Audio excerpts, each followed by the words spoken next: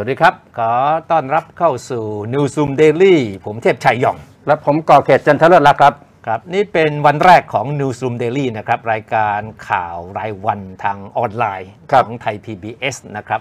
พบกันทุกวันจันทร์ถึงวันศุกร์เวลา 17 นาฬิกานะครับครับและเอาเรื่องราวต่างๆ ที่เกิดขึ้นในแต่ละวันที่เราเชื่อว่ามีความสำคัญมีความหมาย แล้วก็มาเล่าสู่กันฟังนะครับ ให้ความรอบด้านนะครับ และสร้างความเข้าใจกับเหตุการณ์ที่เราเชื่อว่ามันมีความหมายต่อท่าน ทุกวันเลยครับครับ ผมและคุณเทพชัยจะพูดคุยกันแบบคุยกันจริง ๆ นะครับ ให้เข้าใจง่าย ๆ ว่าเกิดอะไรขึ้น หลายเรื่องต้องการคำอธิบายนะครับและหลายเรื่องก็มีที่มา แล้วก็ต้องมองว่าที่ไปหรือว่าแนวโน้มในอนาคตของเหตุการณ์นั้นๆเนี่ยจะเป็นอย่างไร นอกจากเราสองคนแล้วนะครับ ยังมีผู้สื่อข่าวของเราที่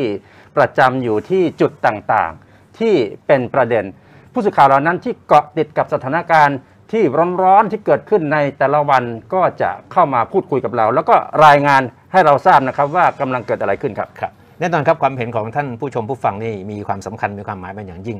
จึงขอเชิญแสดงความคิดเห็นเข้ามานะครับทาง YouTube ทาง Facebook นะครับไทย PBS และไทย PBS News นะครับแล้วก็เราก็จะเอาความเห็นของท่านเนี่ยมาพูดคุยกันนะครับเพื่อจะขยายความเพื่อให้เห็นว่าประชาชนทั่วๆไปมีความเห็นยังไงต่อเรื่องที่เราพูดคุยกันอยู่นะครับ ครับคุณก่อเขตครับความจริงและท่านผู้ชมครับความจริงตอนแรกเนี่ยเราคิดว่าอยากจะคุยเรื่อครังบ การเมืองหน่อย ครับ มันกำลังร้อนเลยใช่ไหมครับ ครับ แล้วควันหลงจากการเลือกตั้งซ่อมในเขต 9จตุจักร